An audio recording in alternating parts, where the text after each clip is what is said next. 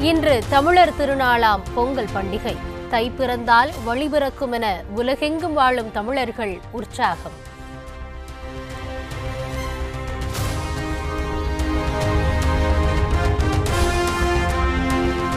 அறுவடை திருநாளில் சூரிய கடவுளை வணங்கி பொங்கலோ பொங்கல் என முழக்கமிடுவோம். தமிழ் மக்களுக்கு ஆளுநர் ஆர் என் ரவி பொங்கல் வாழ்த்து.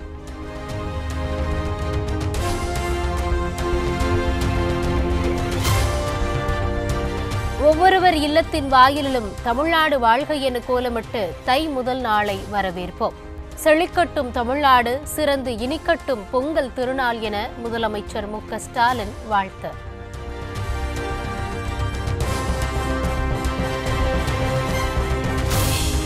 சென்னை கோபாலபுரம் கலைஞர் வீட்டு வாசலில் தமிழ்நாடு வாழ்க என்ற வாசகத்துடன் அலங்கரிக்கப்பட்ட கோலம்.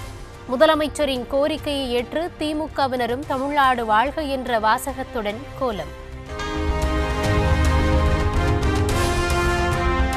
தமிழகத்தின் பல பகுதிகளில் பொங்கல் கொண்டாட்டம் கோலாகலம். சென்னையில் ஆயுதப்படை போலீசாரின் பொங்கல் கொண்டாட்டத்தில் மாநகர காவல் ஆணையர் சங்கர் ஜுவால் பங்கேற்பு.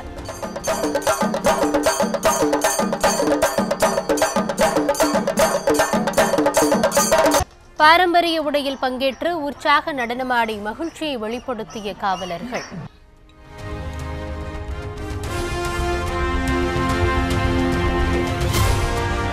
சென்னையில் பொங்கல் பண்டிகைக்கான பொருட்களை வாங்க குவிந்த மக்கள். கரும்பு மஞ்சள் கொத்து தோரணங்களை ஆர்வத்துடன் வாங்கிச் சென்ற மக்கள். தமிழகம் முழுவதும் பொங்கல் பண்டிகைக்கான பொருட்களை வாங்க சந்தைகளில் குவிந்த மக்கள்.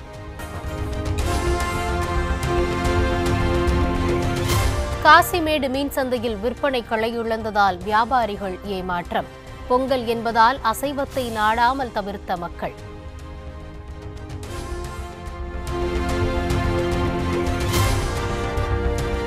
பொங்கல் பண்டிகையால் தமிழகத்தின் பல பகுதிகளில் கடும் போக்குவரத்து நெரிசல்.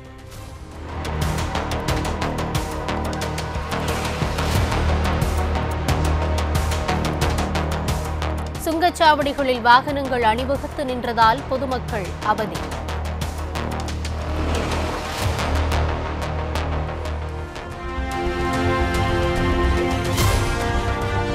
சென்னை போரூரில் பல கிலோமீட்டர் தூரத்திற்கு அணிவகுத்து நின்ற வாகனங்கள். கடும் போக்குவரத்து நெரிசலால் வாகன ஓட்டிகள் அவதி.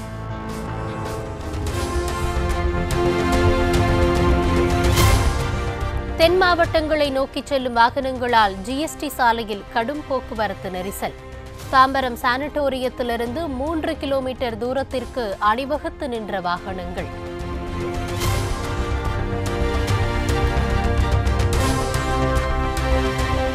இன்று மதுரை அவனியாபுரத்தில் ஜல்லிக்கட்டு போட்டிகள்.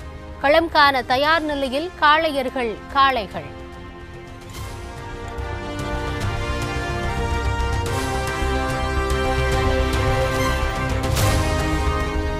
அவனியாபுரம் ஜல்லிக்கட்டை முன்னிட்டு தயார் நிலையில் முப்பது மருத்துவர்கள் இருபது செவிலியர்கள் உதவியாளர்களை கொண்ட மருத்துவ குழு.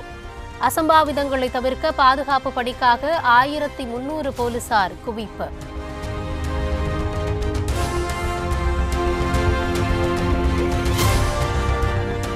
மதுரை பாலமேட்டில் நாளை ஜல்லிக்கட்டு போட்டி. உலக பிரசித்தி பெற்ற அலங்காநல்லூரில் நாளை மறுநாள் ஜல்லிக்கட்டு நடைபெறுகிறது.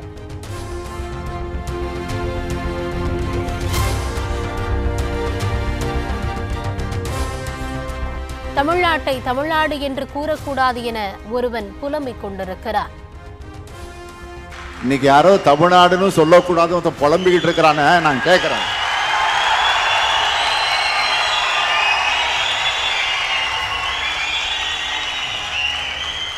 அதுக்கு மேல விளம்பரம் கொடுக்க வேண்டாம்.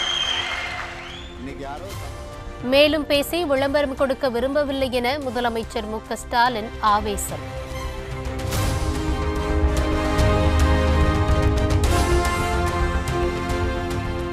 சட்டப்பேரவை ஆளுநர் உரை விவகாரம் தொடர்பாக மத்திய அரசுக்கு கடிதம் அனுப்பினார் குடியரசுத் தலைவர்.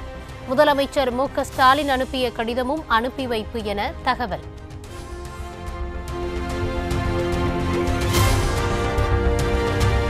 ஆளுநரை ஆபாச வார்த்தைகளால் வசைபாடிய தலைமை கழக பேச்சாளர் சிவாஜி கிருஷ்ணமூர்த்தி திமுகவிலிருந்து சஸ்பெண்ட். கட்சிக்கு அவப்பெயர் ஏற்படுத்தும் வகையில் செயல்பட்டதால் சஸ்பெண்ட் செய்யப்படுவதாக துரைமுருகன் அறிவிப்பு.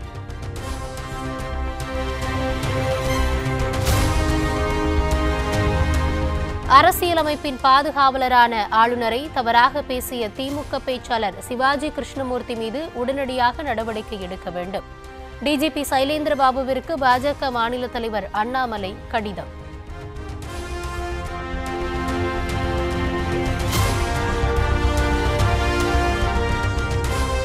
ஆளுநர் ஆர் என் ரவியை திமுக பேச்சாளர் ஆபாசமாக பேசிய விவகாரம். நீதிமன்றத்தில் அவதூறு வழக்கை தாக்கல் செய்ய தமிழ்நாடு அரசுக்கு சென்னை மாநகர காவல்துறை பரிந்துரை.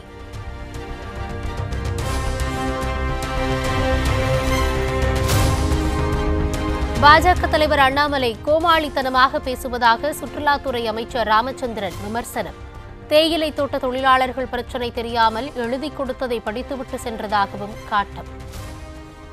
என்னைக்கு அவர் வந்து எப்போதுமே கோமாளித்தனமாக பேசுவார். இன்றைக்கி பாஜக அண்ணாமலை பற்றி எனக்கு கேட்டு கேட்டேன். எந்த இடத்துல சரியாக பேசியிருக்காரு? ஊட்டியில் வந்து அந்த தேயிலை இது பற்றி தோட்டத்தை பற்றி பேசினார். ஒன்று கூட உண்மை கிடையாது. அவருக்கு தேயிலை பற்றியே தெரியாது. யாரோ சொல்லி கொடுத்தது பற்றி பேசுகிறாரு நாங்கள் அதுலேயே வளர்ந்தவங்க நாங்கள்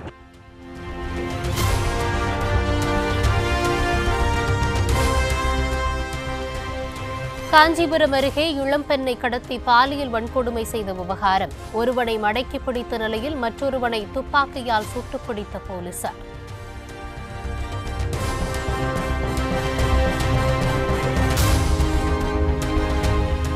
நிரந்தர பணியாளர் அல்ல என்பதற்காக மகப்பேறு சலுகைகளை வழங்க மறுக்க முடியாது. தனி நீதிபதியின் உத்தரவை எதிர்த்து அரசு போக்குவரத்து துறை தொடர்ந்த வழக்கில் தீர்ப்பை உறுதி செய்த சென்னை உயர்நீதிமன்றம்.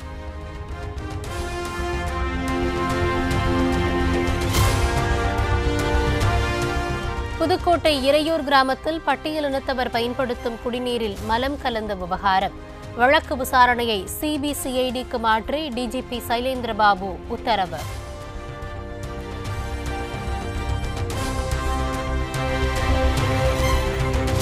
ஒரே நாடு ஒரே தேர்தல் முறைக்கு அதிமுக ஆதரவு. சட்ட ஆணையத்திற்கு இடைக்கால பொதுச் செயலாளர் எடப்பாடி பழனிசாமி கடிதம்.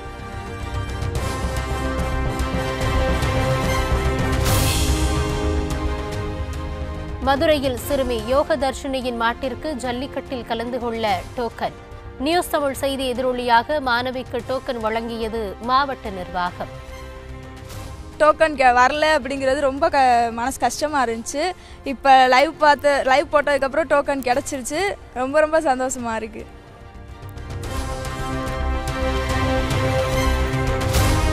காஞ்சிபுரத்தில் காதலனுடன் சென்ற கல்லூரி மாணவியை மிரட்டி கூட்டு பாலியல் வன்கொடுமை செய்த ஐந்து பேருக்கு மாவுக்கட்டு கைது செய்ய முயன்றபோது தவறி விழுந்ததாக காவல்துறை தகவல்.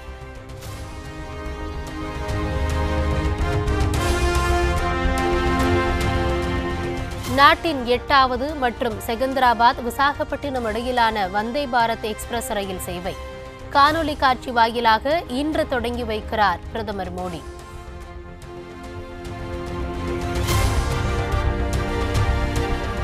தலைநகர் டெல்லியில் குடியரசு தின அணிவகுப்பு ஒத்திகை.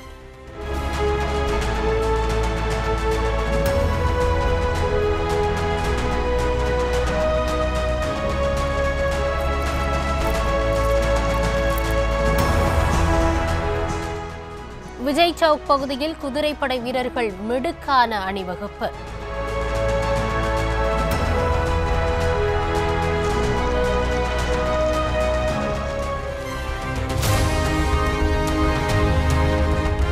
டெல்லி துணை முதலமைச்சர் மனிஷ் சிசோடியா அலுவலகத்தில் சோதனை நடத்தவில்லை என சிபிஐ மறுப்பு.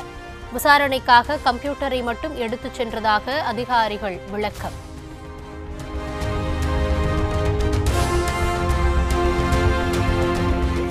ஜம்மு காஷ்மீரின் சோனாமார்க் பகுதியில் பனிச்சரிவு.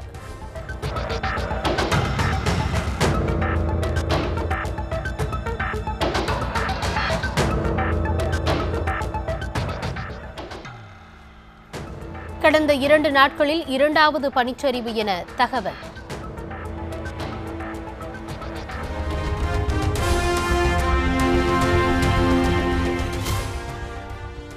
உத்தரகாண்டின் ஜோஷிமத் நகரிலிருந்து ஐந்து கிலோமீட்டர் தொலைவில் உள்ள செலாங் கிராமமும் மண்ணில் புதையும் அபாயம். சில மாதங்களாக வீடுகளில் விரிசலும் நிலத்தில் வெடிப்பும் ஏற்படுவதாக மக்கள் அச்சம்.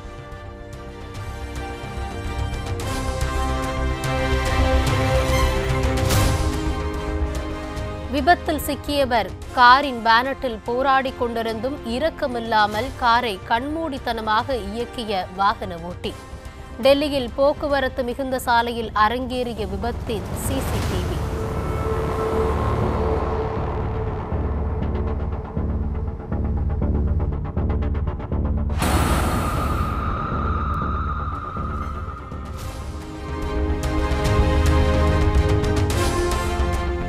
இந்தியாவில் கொரோனா பாதித்து ஒரு மாதத்தில் மட்டும் அறுபதாயிரம் பேர் பலி.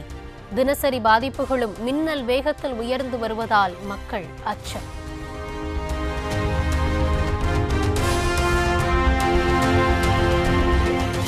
வெளியான முதல் நாளிலேயே அதிக பிரதிகள் விற்பனையாகி இளவரசர் ஹாரியின் சுயசரிதை புத்தகம் கின்னஸ் சாதனை.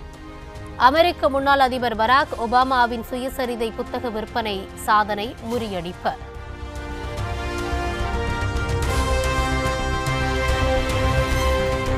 கொலம்பியாவின் பாஸ்டோ நகரில் வண்ணமயமான கார்னிவல் கொண்டாட்டம்.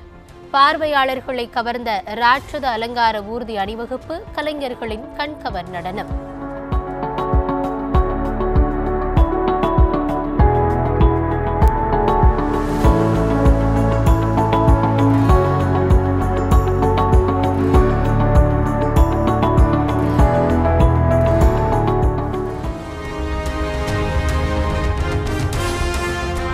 ஆஸ்திரியா தலைநகர் வியனாவில் குளிர்கால மலர் சீசனை குதூகலமாக வரவேற்ற இளசுகள் கையில் பூங்கத்துடன் ஆயிரக்கணக்கான ஜோடிகள் அசத்தலாக நடனம். மலேசியாவில் களைகட்ட தொடங்கிய லூனார் புத்தாண்டு கொண்டாட்டம். ஆயிரக்கணக்கான மின் விளக்குகளால் ஜொலித்த புத்த கோவில்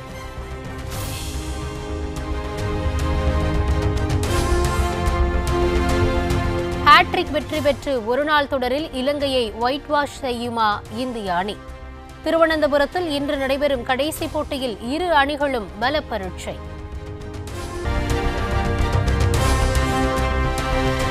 ஹோம்லியாக பொங்கல் வாழ்த்து தெரிவித்த சினிமா மற்றும் சின்னத்திரை நடிகைகள். கலர் கலரான தாவணி மற்றும் புடவையில் ரீல்ஸ் வீடியோ வெளியீடு. வாரிசு படத்தை திரையரங்கில் பார்வையிட்ட இயக்குனர் வம்சியின் தந்தை. மகிழ்ச்சியை கட்டுப்படுத்த முடியாமல் மகனை கட்டி அணைத்து கண்கலங்கிய காட்சிகள்.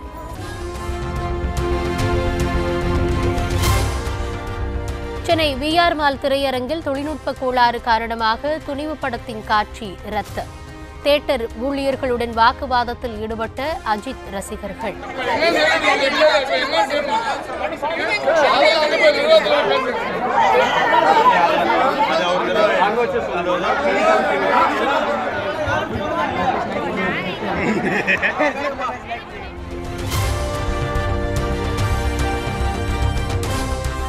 நன்றாக தமிழ் பேசுவது எப்படி எனும் ரகசியத்தை பகிர்ந்த நடிகை மஞ்சு வாரியர் பிறந்து வளர்ந்தது தமிழ்நாட்டின் நாகர்கோவிலில் தான் என பேட்டி ഇല്ല ഞാൻ ജനിച്ചു വളർന്നത് തമിഴ്നാട്ടിലാണ്. നാഗർകോവിലാണ് ജനിച്ചു വളർന്നത്. അതുകൊണ്ട് മലയാളം പഠിക്കുന്നതിന് മുമ്പേ ഞാൻ സത്യത്തിൽ തമിഴാണ് എഴുതാനും വായിക്കാനും സംസാരിക്കാനും ഒക്കെ പഠിച്ചത്. എന്തുകൊണ്ടാണ് തമിഴ് സിനിമ ചെയ്യാതിരുന്നതെന്ന് പറഞ്ഞാൽ പല കാരണങ്ങളാണ്. ആദ്യം கவனத்தை ஈர்க்கும் ரிவால்வர் ரீட்டா படத்தின் ஃபர்ஸ்ட் லுக் போஸ்டர் ட்விட்டர் பக்கத்தில் பகிர்ந்த நடிகை கீர்த்தி சுரேஷ்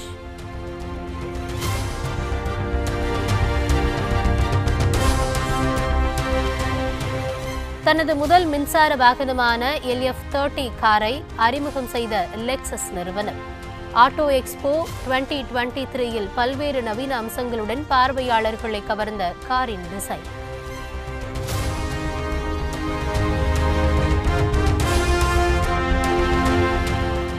மதுரை உசிலம்பட்டியில் காளியம்மன் கோவிலில் மூன்று ஆண்டுகளுக்கு ஒருமுறை நடைபெறும் உற்சவ விழா. அரிவாள் மீது ஏறி நின்று அருள்வாக்கு கூறிய சாமியார்கள்.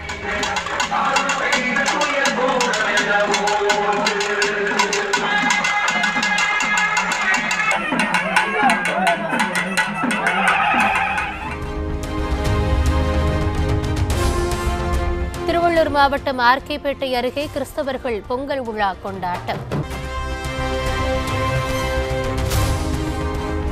சபரிமலையில் மகரஜோதி தரிசனம். லட்சக்கணக்கான பக்தர்கள் சரணம் ஐயப்பா கோஷத்துடன் வழிபாடு.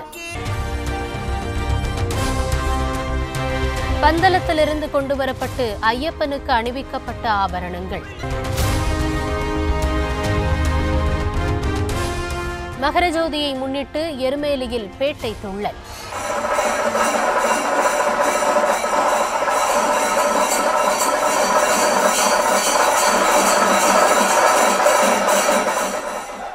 நடனத்துடன் மகரஜோதியை வரவேற்ற ஐயப்ப பக்தர்கள்.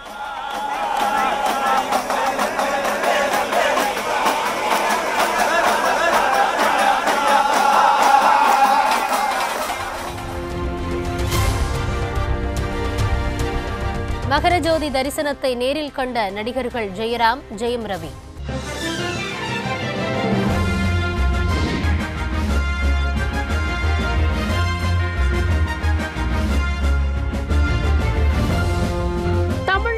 செய்திகளின் புதிய அடையாளமாக. உங்கள் காலை பொழுதின் புதிய அங்கமாக நியூஸ் தமிழ். செய்தி வழங்குவதில் உலக தரம். இணைந்திருங்கள். காலை ஆறு மணியிலிருந்தே உங்கள் நியூஸ் தமிழோடு.